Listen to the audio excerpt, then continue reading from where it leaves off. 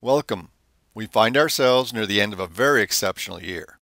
This release of 2020-07 has packed a lot under the hood, giving our users better performance with the undo redo, demanding less from your computer's memory. Undo redo will function better, capturing more steps and more importantly, will allow the development team to expand functionality to the product. Before I open a project, I want to point out that the relocate for the import is disabled until there is an imported file.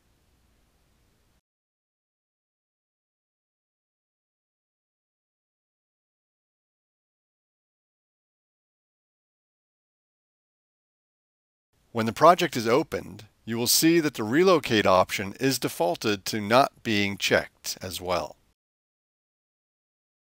Relocate allows you to type in a value so you can give plenty of distance between projects to avoid overlapping.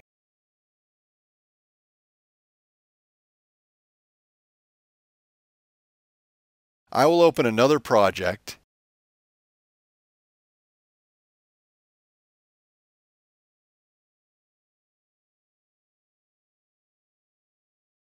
In the loading view, you'll see that the load list is now collapsed making it easier to locate the trailers.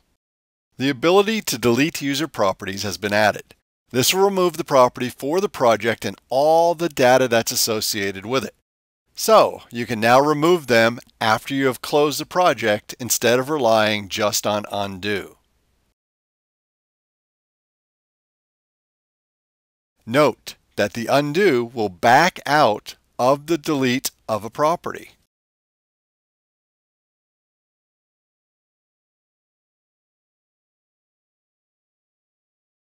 On a side note, the IFC load export in version 2020.06 could have some misplaced bundles on the trailer.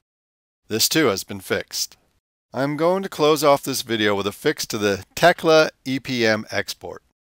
We've had instances with a model imported from Tekla where some loadables did not contain a phase or a sequence and other required data. This caused the Tekla EPM export to add in the sequence field location the GUID for the loadable, a really long number. And that would kill the import process into Tekla EPM. Instead of us trying to make up some sequence, this would not be helpful.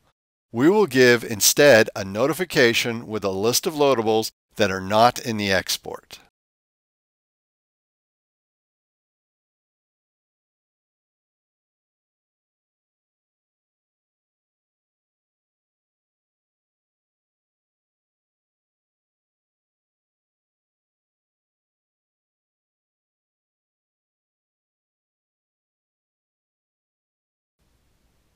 I hope you enjoy this version of SDS2 Fortosi.